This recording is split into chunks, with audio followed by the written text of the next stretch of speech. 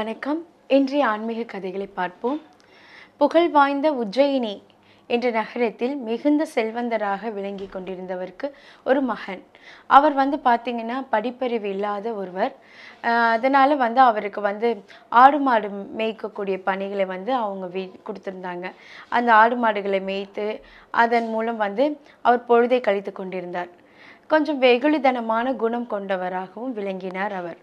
அப்படி இருக்கையில் அவர் வந்து மிகுந்த பக்தன் காளி பக்தன். அவர் ஆடு மேய்க்கும் இடத்தில் வந்து ஒரு காளி கோவில் இருக்கு. அந்த காளி கோவில் அருகே சென்று அந்த காளி தேவியை வணங்குவதும் அதற்கு பூஜை செய்வதுமாக இந்த ஆடு மாடுகளை மேய்க்கும் நேரத்தில் அந்த காளி கோவிலிலே இவர் வந்து உறங்கிக் கொண்டிருப்பதுமாக வழக்கமாக வைத்திருந்தார் அந்த செல்வந்தரின் மகன். எப்படி கொஞ்ச காலம் போயிட்டு இருக்கும்போது அதே நகரத்தில் இருக்கக்கூடிய ஒரு அரண்மனையின் அரசனின் மகள் வந்து மிகுந்த புத்திசாலி பேரழகு பேரழகி என்று சொல்லக்கூடிய அளவிற்கு அழகும் அழகும் எழிலும் கொண்டவளாக விளங்கினாள். அதே சமயம் ரொம்ப புத்திசாலியாகவும் இருந்தாள். அந்த இளவரசிக்கு வந்து பாடம் கற்பிப்பதற்காக ஒரு குருநாதரை நியமித்திருந்தார்கள்.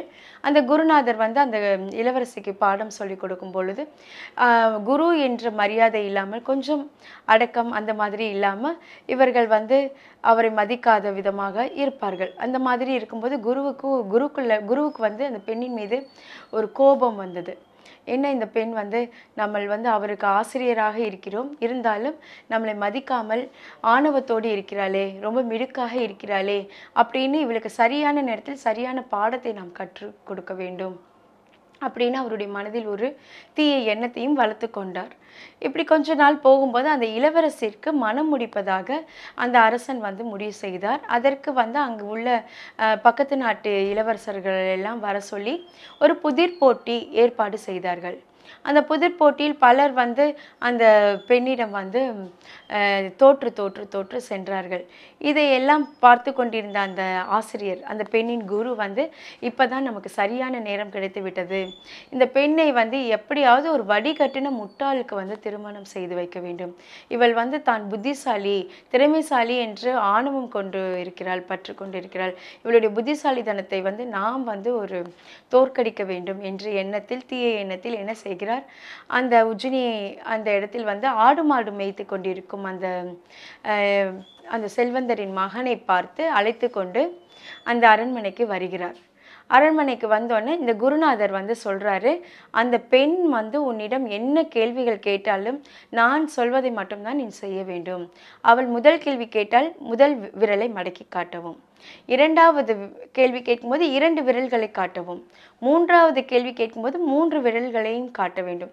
நான்காவது கேள்வி அவள் கேட்டால் நான்கு விரல்களையும் காட்ட வேண்டும். ஐந்தாவது கேள்வி கேட்கும்போது ஐந்து விரல்களை மடக்கி காட்ட வேண்டும் அப்படின்னு வந்து சொல்லி அழைத்து கொண்டு போகிறார் இந்த குரு. இவரும் வந்து சரி நான் வந்தால் எனக்கு என்ன தருவீங்க? நீ வந்தால் உனக்கு சாப்பாடு எல்லாம் கிடைக்கும் அரண்மனையில். அப்படின்னு சொல்லி அவருடைய வெகுளிதனத்தை வந்து வச்சு அவரை கூட்டிகிட்டு போகிறாரு அந்த அரண்மனைக்கு. அரண்மனைக்கு போனோன்னா அந்த அந்த இளவரசி முன்னாடி இந்த செல்வந்தரின் மகனையும் அமரச் செய்கிறார்கள். இந்த இளவரசி வந்து கேட்கிறாள் முதல் கேள்வி கேட்கிறாள். அதற்கு இந்த செல்வந்தரின் மகன் ஒரு விரலை காட்டுகிறான். இரண்டாவது கேள்வி கேட்கும்போது இரண்டு விரல்களை காட்டுகிறாள். மூன்றாவது கேள்வி கேட்கும்போது மூன்று விரல்களை காட்டுகிறார். நான்காவது கேள்விக்கு நான்கு விரல்களை இந்த செல்வந்தரின் மகன் காட்டுகிறான். ஐந்தாவது கேள்வி கேட்கும்போது ஐந்து விரலை மடக்கி காட்டுகிறார். உடனே அந்த இளவரசிக்கு ஒரே ஆனந்தம்.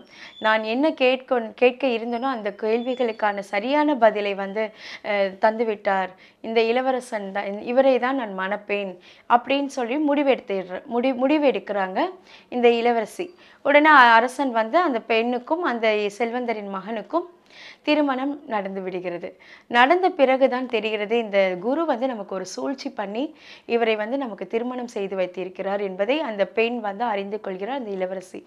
உடனே ரொம்ப வருத்தத்தோடு சென்று காளி தேவியின் அவள் வந்து ஒரு ஒரு சிறந்த பக்தை காளி பக்தி பக்தை. அவள் உடனே காளி அம்மன் கோவிலுக்கு சென்று அங்கு முறையிடுகிறாள். ஏ நான் வந்து உன் மீது தீராத பக்தி கொண்டவள். நான் புத்திசாலி புத்திசாலியாக என்னை படைத்ததும் நீதான். அப்படி இருக்கும்போது எனக்குள்ளே இருக்கக்கூடிய ஆற்றலை படைத்தவளும் நீதான். பேராற்றலை படைத்தவளும் நீதான். இப்படி நான் இருக்கிற பட்சத்தில் எனக்கு இப்படி ஒரு கணவனை தந்து விட்டாயே எனக்கு எல்லாம் சரியாக தந்து கணவனை மட்டும் சரியாக தரவில்லையே என்று அந்த காளி தேவியிடம் முறையிடுகிறாள் அந்த இளவரசி. அந்த நேரம் இந்த இள இளவரசன் அந்த இளவரசியை மணந்து கொண்ட அந்த செல்வந்தரின் மகனும் அங்கு வருகிறார். வந்து அந்த அப்போது அந்த காளி தேவியிடம் வந்து கேட்கிறார் இந்த அம்மாவுக்கு நான் சரியான ஆளே இல்லை. என்னை இப்படி கொண்டு வந்து சேர்த்துட்டியேம்மா? அப்படின்னு சொல்லி அந்த வெகுளிதனமாக அந்த தெய்வத்திடம் வந்து கேட்கிறார். அவரும் வந்து ஒரு சிறந்த காளி பக்தன். காளி மீது ரொம்ப பக்தி கொண்டவங்க. இருவருக்குள்ளார ஒரு ஒற்றுமை என்னன்னா இரண்டு பேருமே காளி பக்தர்கள். அப்போது அந்த செல்வந்தரின் மகன் வந்து அந்த காளிதேவியிடம் உருகி மனம் உருகி வேண்டி கேட்கிறார். ஏம்மா இப்படி என்னை வந்து அவங்களுக்கு எந்த தகுதியுமே இல்லாத என்னைய வந்து இந்த அம்மாவுக்கு வந்து மனம் முடிச்சிட்டியே. நீ இப்படி ஒரு பாவத்தை பண்ணலாமா? உன்னை அந்த அம்மா வந்து பக்தி உன்னை வந்து ரொம்ப உன் மேலே பக்தி கொண்டிருக்கிறாங்கல்ல. நானும் உன்னை தானே நம்பியிருக்கேன். நீ இப்படி எனக்கு வந்து ஒரு இந்த மாதிரி ஒரு விஷயத்த பண்ணிட்டியேன்னு சொல்லி இந்த அந்த செல்வந்தரின் மகன் வந்து அந்த தெய்வத்தை பார்த்து கேட்கும்போது தெய்வம் கண் முன்னே தோன்றுகிறாள். அந்த காளி தேவி சாட்சாத் அவங்க முன்னாடி தோன்றி இருவர் மீதும் பக்தி கருணை கொண்டதுனால அந்த இடத்துல தோன்றி அந்த தனது சூழாயுதத்தால் அந்த செல்வந்தரின் வாயில் நாக்கில் வந்து ஓம் என்ற மந்திரத்தை எழுதுகிறார். இந்த ஓம்னு மந்திரம் எழுதினதுமே அந்த அந்த செல்வந்தரின் மகன் உயர்ந்த நிலைக்கு ஒரு மகாகவியாக வந்து வந்து பார்த்திங்கன்னா ஒரு மகாகவி எப்படி பாடுவாரோ அந்த மாதிரி அவருடைய நாவிலிருந்து பல புதுமையான பாடல்களையும் காளி மீது பல சாஸ்திராங்கம் அஷ்டோத்திரம் அந்த மாதிரியான பல பாடல்களை அந்த நேரத்தில் பாடுகிறார். இதை கேட்டவுடன் அந்த அது இளவரசியாருக்கு மிகுந்த மகிழ்ச்சி வருகிறது. நாம் நமது காளி தேவி மீது இவ்வளவு பண்களை பாடுகிறாரே இவ்வளோ பாடல்களை பாடுகிறாரே என்று அந்த பெண்மணி வந்து அந்த நேரத்தில் உணர்ந்து கொண்டு அவருடைய அறிவு ஞானம் திறம் எல்லாம் அவருக்கு கிடைத்ததற்கு காளி தேவி தான் காரணம் என்று காளி தேவியை வணங்கி இருவரும் தெய்வத்திடம் பணிகிறார்கள் வணங்கி செல்கிறார்கள். அவர் இப்போ பிற்காலத்தில் அவரை தான் வந்து மகாகவி காளிதாசன் என்று அனைவராலும் போற்றப்பட்ட ஒரு மகாகவியாக பிற்காலத்தில் அவர் வ வந்தார். அவருடைய வரலாற்றுகளையும் அவருடைய பாடல்களையும் நாம் இன்றளவும் நாம் பாடிக்கொண்டிருக்கிறோம். இதிலிருந்து நமக்கு என்ன தெரிகிறது? உண்மையான பக்திக்கு தெய்வம் நேரில் வந்து அவர்களுக்கு அவர்களை சேர்க்கும் இடத்தில் சரியான இடத்தில் தான் அவர்களை சேர்த்திருக்கிறாள் என்பது அந்த கதையின் வாயிலாக நாம் உணர முடிகிறது. மீண்டும் நாளை புதிய கதையோடு சந்திப்போம். நன்றி.